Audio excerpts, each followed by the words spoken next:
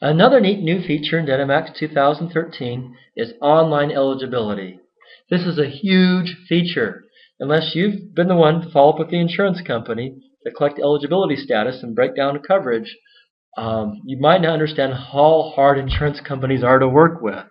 How about bypass that whole phone conversation thing and download that information real time online within DentiMax? Neat new feature here. And so let me show you how this works.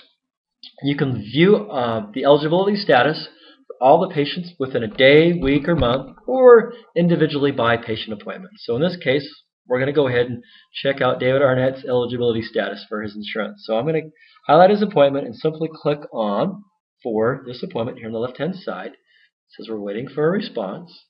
And and now we have the details that David is eligible. Not only do we have the details, but as we expand this view, we can see that uh, his insurance is good insurance. It covers 100% of diagnostic, uh, it covers 100% of preventative, and then you can scroll down and get this complete breakdown of his insurance. Real time, online. What a huge time saver.